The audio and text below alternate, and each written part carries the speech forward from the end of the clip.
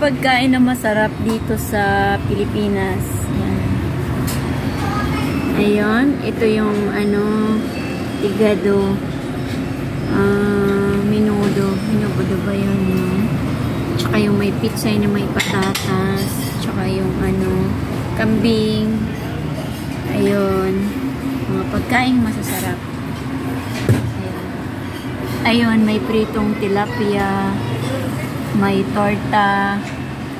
Tsaka may lechon. Tsaka yun.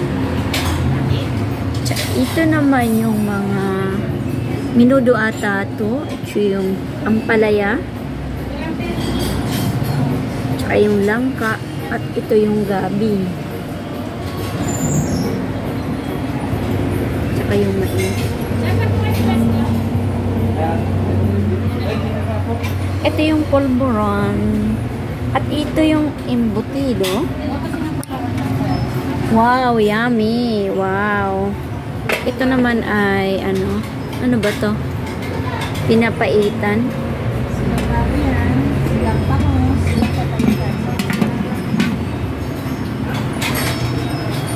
Ito yung sigang ng bangus. Ito yung ano, ano ba to? Tulingan? Tulingan? At ito yung ano ba ito? Hmm.